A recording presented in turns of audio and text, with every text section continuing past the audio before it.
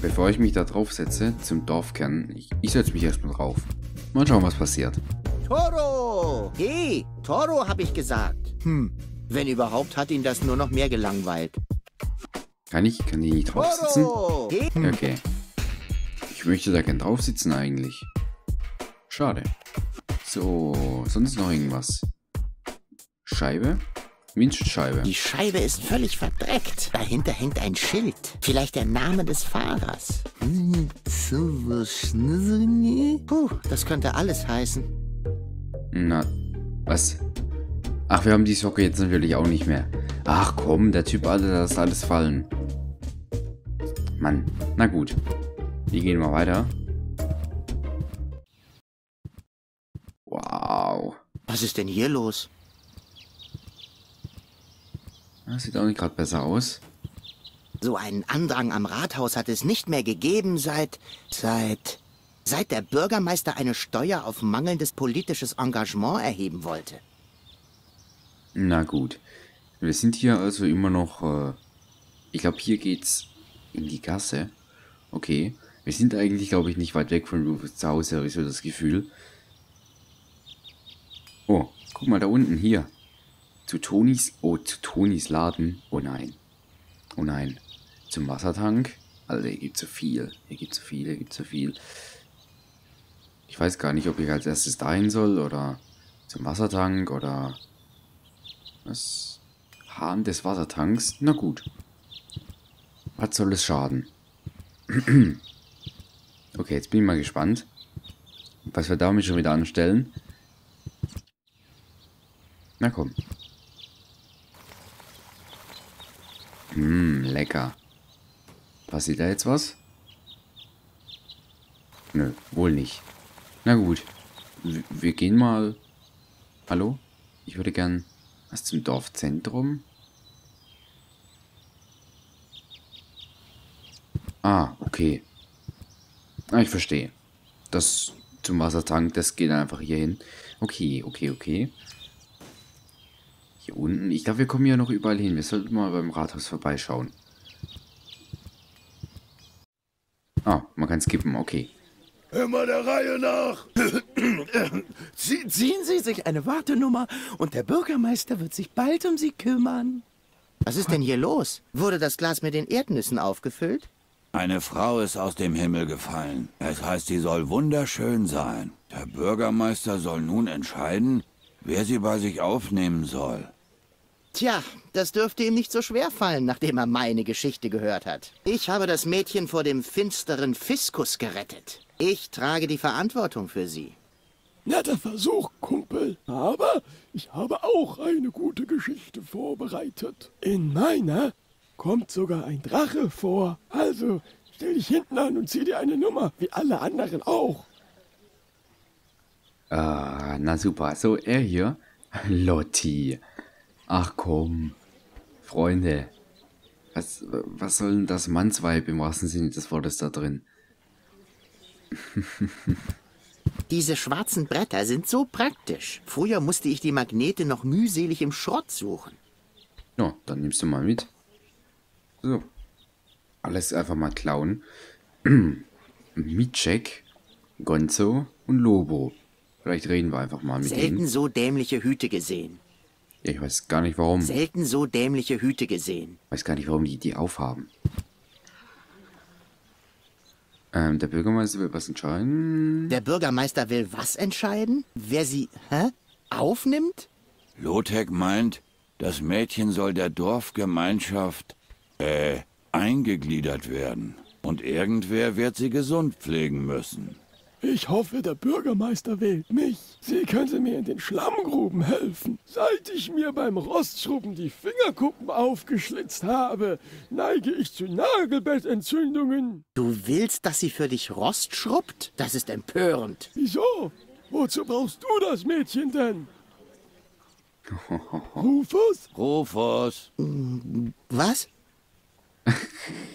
Er ist weggetreten. Okay, was die wohl mit dem Mädchen vorhaben, das ist natürlich toll.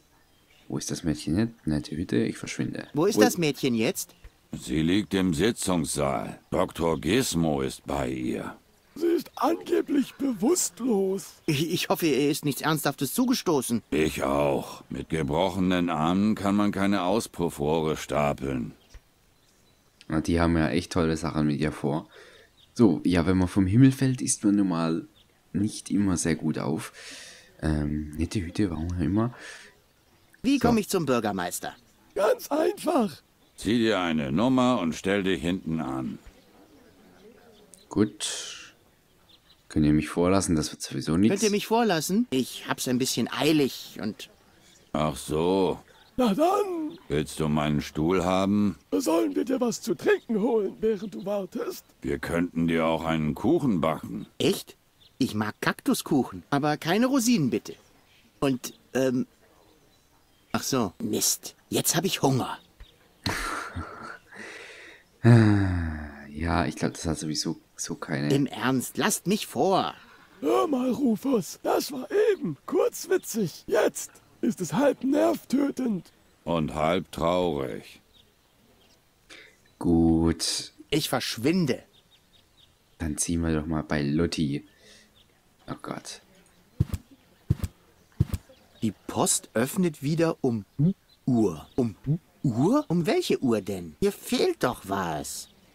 Hm, Okay. Jedes Amt braucht eine gute Seele. Vielleicht sollte das mal jemand dem Bürgermeister sagen. oh, da macht sich jemand beliebt. Ich glaube, wenn die äh, rausgreift aus ihrem Kabuff, dann ist Rufus aber auch ein, kurz, äh, ein Kopf kürzer. Hallo, Lotti. Du, du auch noch? Herrje, was ist heute bloß für ein Tag? So, ähm, wo ist die Frau aus Elysium?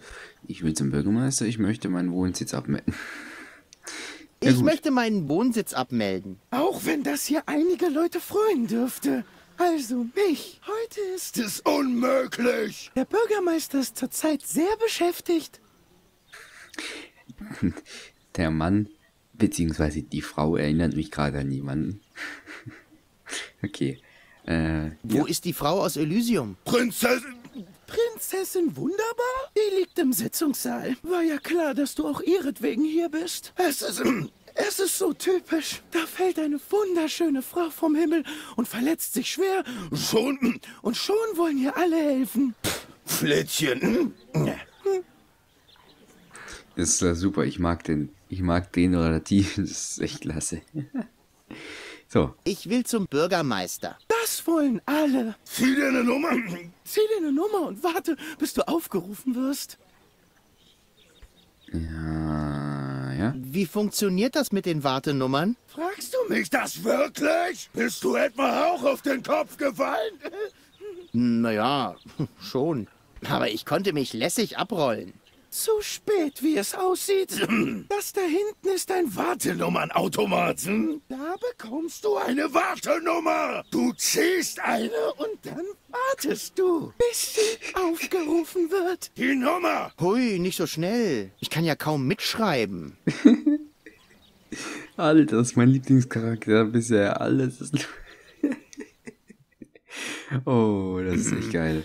Kannst du mich nicht ausnahmsweise vorlassen? Jeder wird aufgerufen, wenn seine Nummer dran ist. Keine Ausnahmen. Nicht mal für mich? Für dich ganz besonders nicht. Okay. Aber in der Schlange bewegt sich ja gar nichts. Wer ist denn als nächstes dran? Die Nummer 62. Ich glaube, das war Wenzel. Wenzel hat sich auch beworben? Aber Wenzel ist nicht hier. Es geht der Reihe nach. Und der nächste ist Wenzel. Keine Ausnahmen. Gut, gut, gut.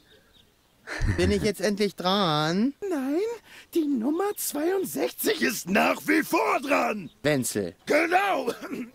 Wenzel. Warte. Bin ich jetzt endlich dran? Nein, die Okay. Nummer 62. Wenzel. Genau. Ich verschwinde. Lass dich nicht aufhalten. Okay, Automat. Ich hasse Schlangen.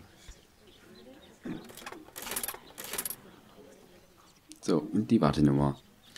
Nummer 66. Fast schon meine Glückszahl. Ja, hängt noch eine 6 dran. Ich hasse Schlangen. Okay. So, wen haben wir hier? Die können wir gar nicht. Zur Poststelle. Zum Büro des Bürgermeisters. Ja, wenn wir da vielleicht dann einfach rein können, wäre das gar nicht mal so schlecht. So, Moment. Post, hier. Stopp! Das Postamt ist bis auf weiteres geschlossen. Bis wann? Bis die Uhr am Öffnungsschild anzeigt, dass es geöffnet hat. Da ist aber keine Uhr. Gut beobachtet. Und jetzt? Weg von der Tür! Die ist so ein guter Türsteher, das ist echt klasse. Oh, zum Sitzungssaal, zum Büro des Bürgermeisters. Warte. Halt! Wo willst du hin? Ich werde mit Goal nach Elysium gehen. Dann bist du hier falsch. Durch die Tür geht es zum Bürgermeisterbüro und da geht es heute der Reihe nach. Also zieh eine Wartenummer oder verschwinde! Alter, wenn ich die gleich so anschreie, ne, dann weht aber ihr, ihr Kleidchen da unten, aber puh. Dann kann sie es irgendwo in Bagdad aufsammeln. Die ist ganz schön mürrisch. Ich hoffe, wir sehen die mal richtig. Das könnte echt lustig werden. So, er rockt wieder ab. Goal, ich muss mit ihr reden. Sie muss erfahren, wer ihr Retter ist. Dass wir hier so einfach hin können.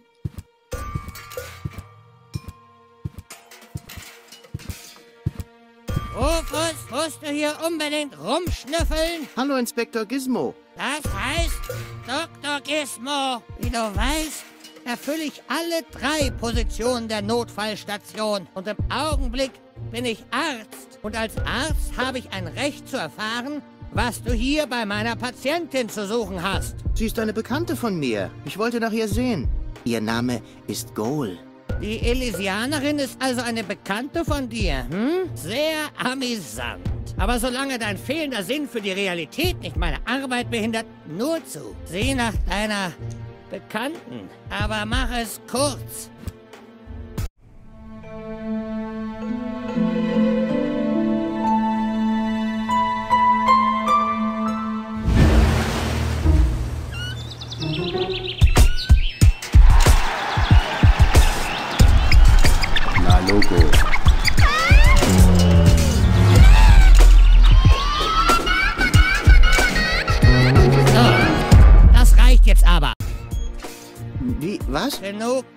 Tagträume für heute. Meine Patientin braucht Ruhe. Das heißt, ich vermute einmal, dass sie Ruhe braucht. Um mir sicher zu sein, müsste sie wohl erst einmal aufwachen. Sie ist bewusstlos? Was fehlt ihr denn? Das Bewusstsein offenbar. Für weitere Untersuchungen müsste sie wach sein. Aber keines von meinen Medikamenten springt an. Wie wär's mit einem richtig starken Kaffee?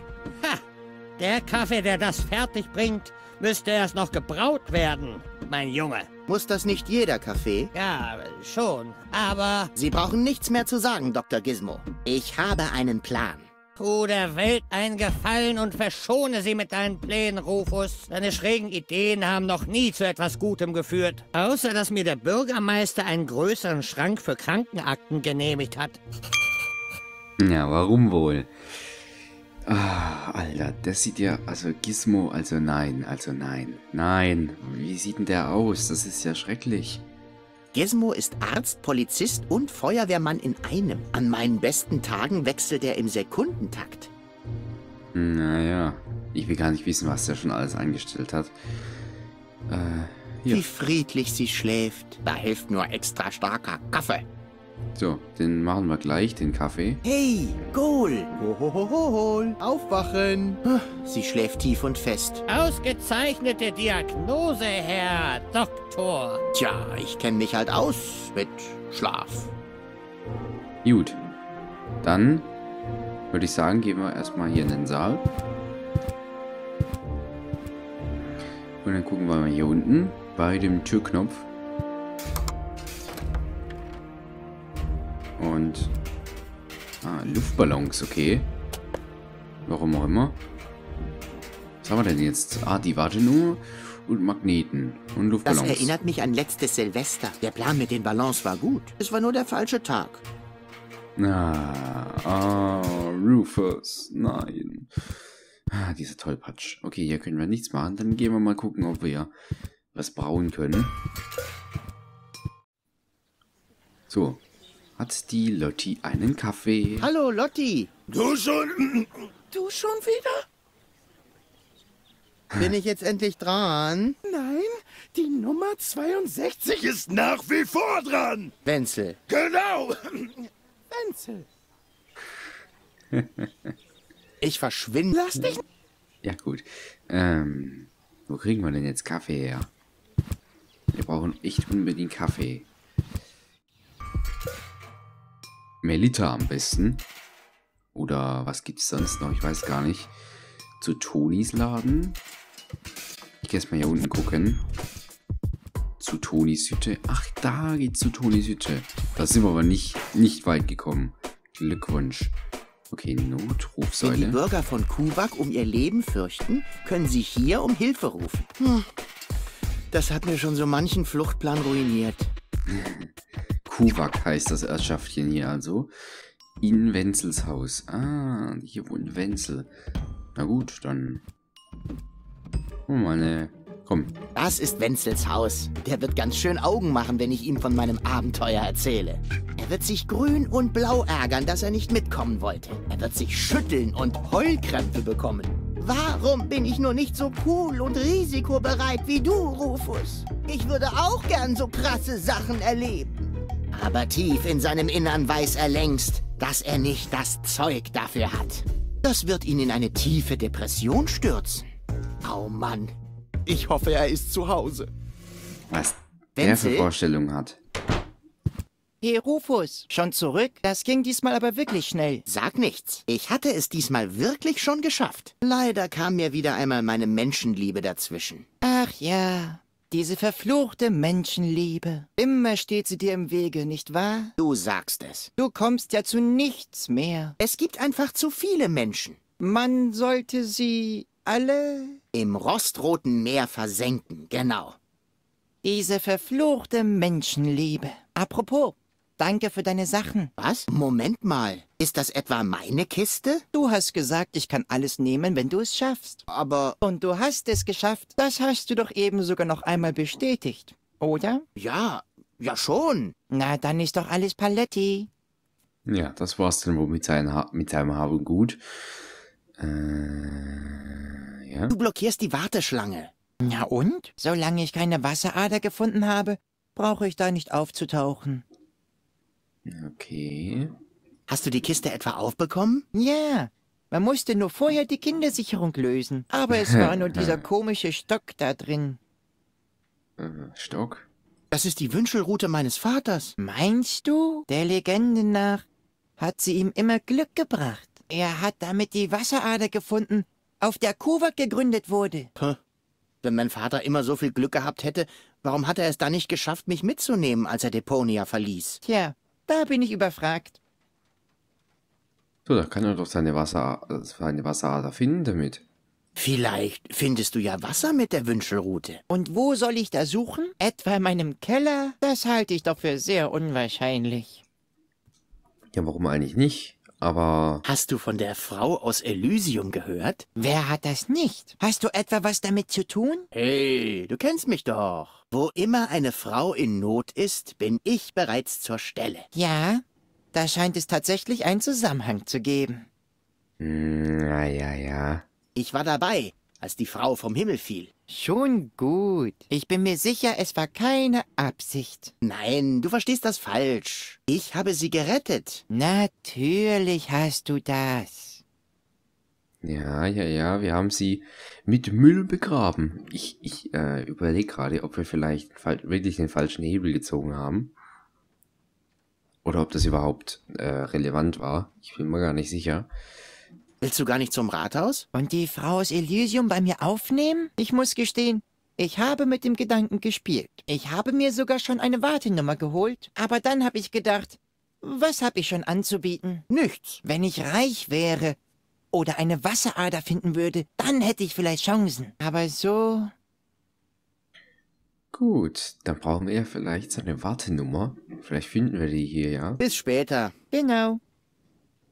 Bis später. So, Wenzel, Wünschelrute. Nix da, Rufus. Die gehört jetzt mir. Aber das ist ein Familienerbstück. Na und? Geschenkt ist geschenkt. Oh, Junge, ich kann es kaum erwarten, sie auszuprobieren. Vielleicht finde ich ja irgendwo in der Gegend eine Quelle. Und wenn ich dann reich bin, Teilen wir 50-50? leihe ich sie dir vielleicht mal für ein paar Stunden aus. Boah, ja, er kann genauso ein Arschloch sein wie Rufus Seam. Das hat er aber auch verdient. Das ist die Wünschelroute von meinem Dad. Seinen Dad hätte ich mal gern kennengelernt. In den Keller, ins Badezimmer. Hier haben wir sonst nichts. Ins Badezimmer.